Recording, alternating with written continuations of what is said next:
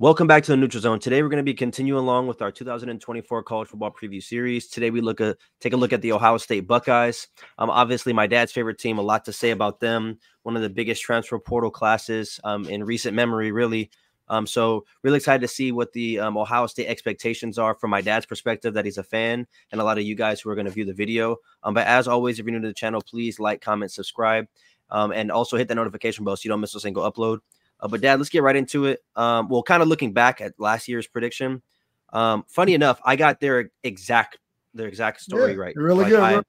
I, I, the only game I predicted them to lose was a Michigan game. Obviously, Mm-hmm. not the bowl game. We didn't talk about a bowl game, but because we had them going to playoffs. But the only game that they lost was the Michigan game, was the one I predicted. You obviously had them twelve and zero, rightfully so. It was a really good game.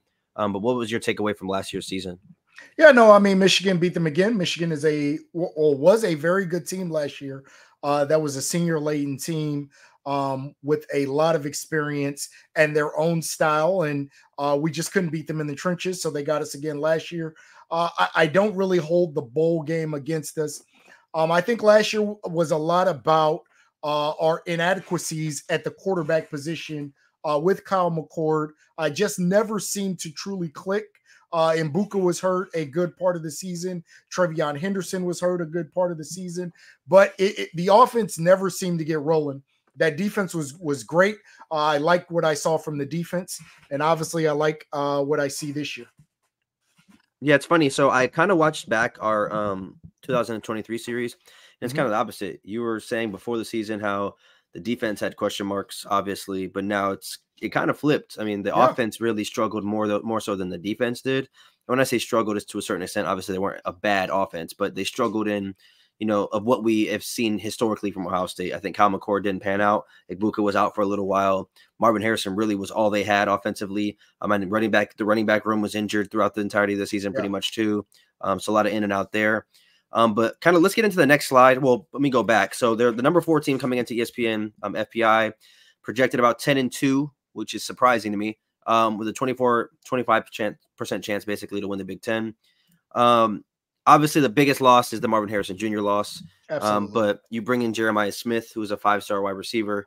Mm-hmm. Um, you bring in Caleb Downs, who's arguably the best player in the portal, and Quinshon Judkins, who's obviously be- arguably the best player in the portal. So, um, with adding, you know, in my opinion, the best, the now the best player on your offense, and now the best player on your defense through the portal, I think that only does, you know, it only helps. Quinshon Judkins, in my opinion, is the best running back in college football. I think Caleb Downs is the best safety in college football best DB, we can even say arguable with Will Johnson and those guys. But I think Caleb Downs is going to have an immediate impact in the secondary. Um, I think the defense is going to build off what they were last year. You bring back Denzel Burke, you bring back JT, you bring back uh, Jack Sawyer, who was a leading sack um, leader on this team last year.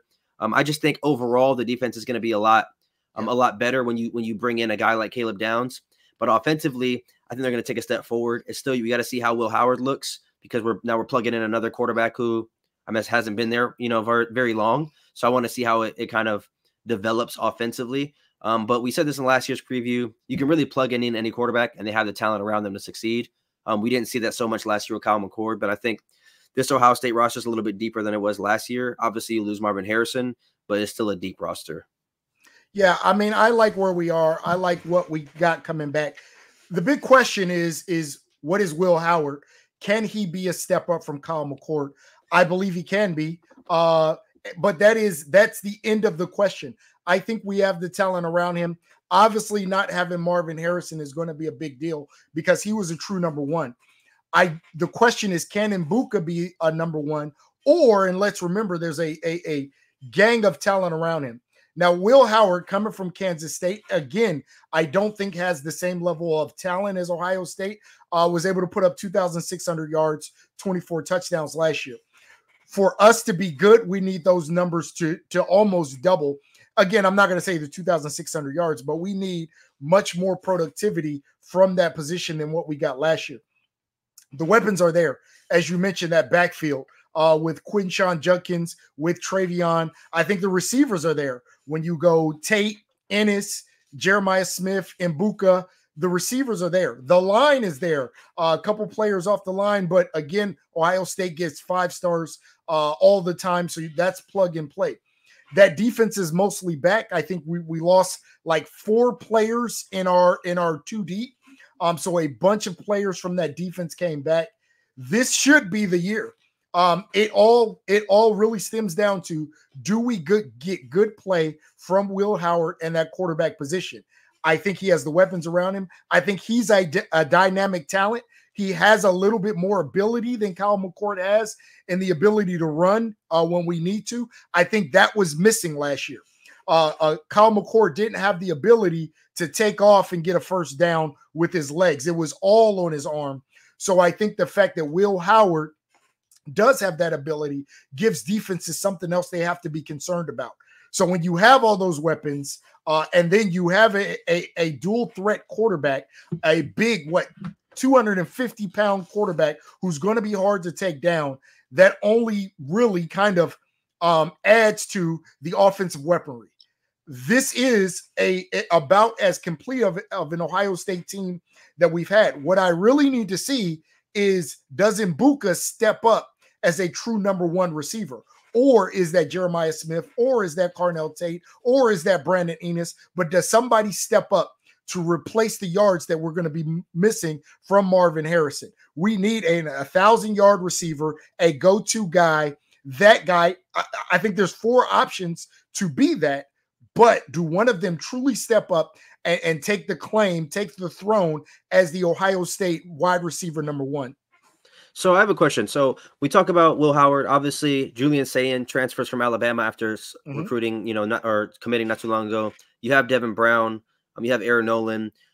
Is Will Howard the true bona fide number one, or do you still feel like there's controversy at all? So there's still so so Ryan Day is not named a number one, and from everything I'm hearing, Julian Sayin, Sayin is playing well. Uh, Devin Brown is playing well, which is why he has it.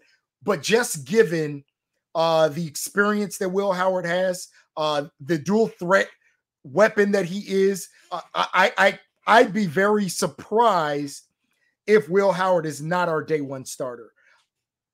Yeah. In this, but it's just, I think the problem is where we are in college football with the transfer portal there has to be concern because I think you have three or four other guys that can go start somewhere, right? Julian Sayin could probably go start at some place, some power five or power four now uh, team.